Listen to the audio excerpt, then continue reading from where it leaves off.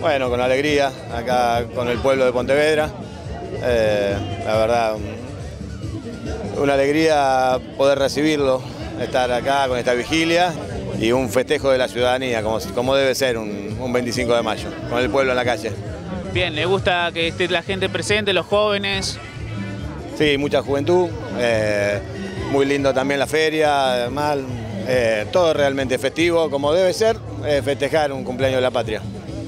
Y bueno, ¿qué, ¿cómo recibió el 25 de mayo? Feliz, la verdad que sentirme así libre de poder venir a donde quiero, donde me gusta. Un pueblo como Pontevedra que nos apoyó, que nos apoya y que la verdad que se merece esto y mucho más.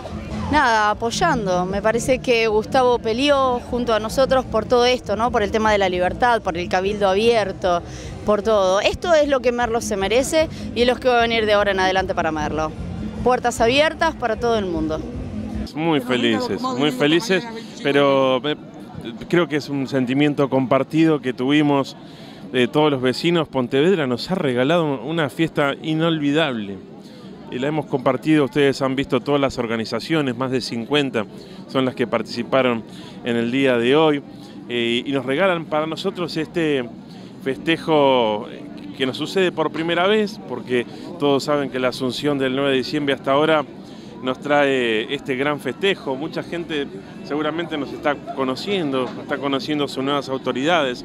Yo les quiero decir que hoy han compartido este escenario todas las fuerzas políticas, porque eso es lo que tiene que pasar. Cada uno de los concejales que, que votaron los vecinos de Merlo en las últimas elecciones estuvieron eh, arriba de este escenario y hemos festejado el Día Patrio que tiene muchas enseñanzas, eh, es el año del bicentenario de 1816, de la independencia, pero sin duda eh, en 1810, el 25 de mayo, fue cuando se empezó a desandar el camino de, esa independencia argentina, que yo decía hace un ratito que eh, hay que aplicarlo a estos tiempos. Aplicarlo a estos tiempos significa apuntarle a los problemas centrales que tenemos dentro de, de esta comunidad, dentro de nuestra sociedad.